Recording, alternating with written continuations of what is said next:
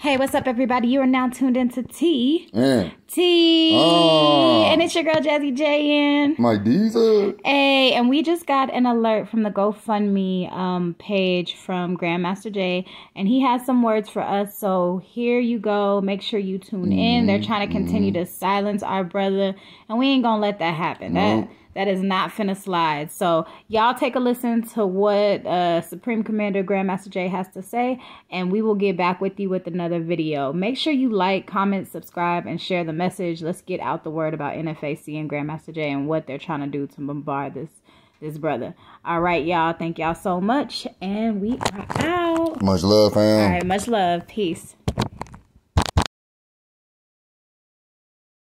They're hoping that you all give up. They're hoping that you stop applying pressure. They're hoping that the phone calls stop. They're hoping that you stop calling the U.S. Attorney's Office. They hope that you stop calling your congressmen and your senators. They hope that you stop reaching out to the president's office. And they hope, that you, they just want you to stop. They want you to go away and go ahead and follow some other folks that are not making any progress whatsoever, so they can go ahead and take care of this this particular individual right here.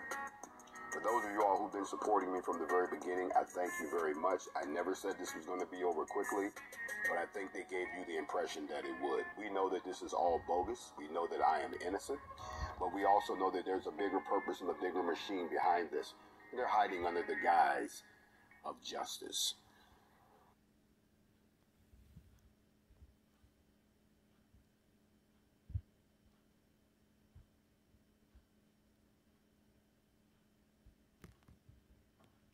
They're hoping that you all give up. They're hoping